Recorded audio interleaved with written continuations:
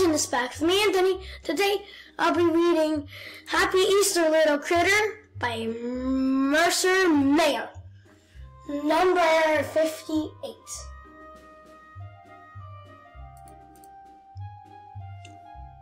It's Easter morning.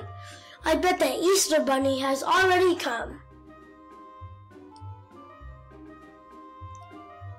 I quietly tiptoe downstairs and find all the Easter goodies before anyone else wakes up. But as usual, my little sister is up before me.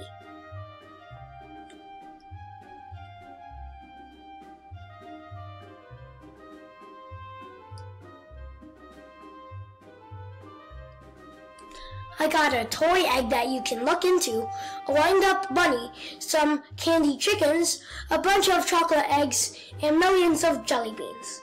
The Easter Bunny gave my little sister the same things. Dad says that's so we don't argue. Mom says we can't eat any of it until after breakfast.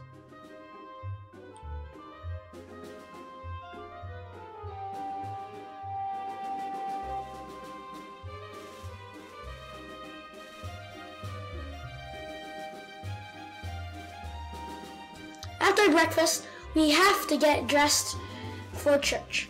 Dad starts the car and we all get in.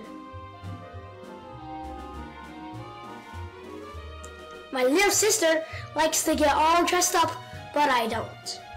At church, I can't see anything because everyone is wearing funny hats.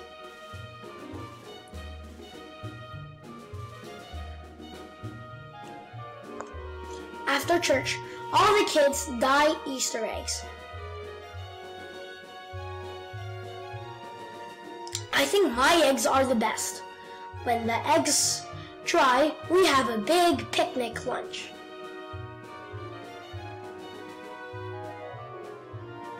Then our parents hide the eggs in the field. We're not supposed to peek. Next, we all line up.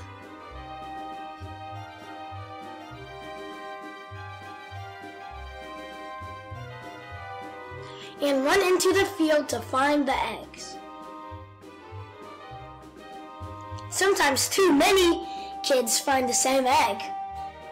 Sometimes you walk right by an egg and someone else finds it.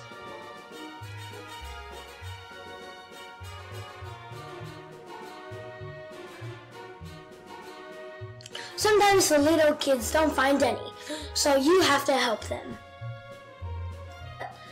By the time we go home, everybody, everyone has had a happy Easter. I hope you guys enjoyed this book. I'll see you in the next one. Bye!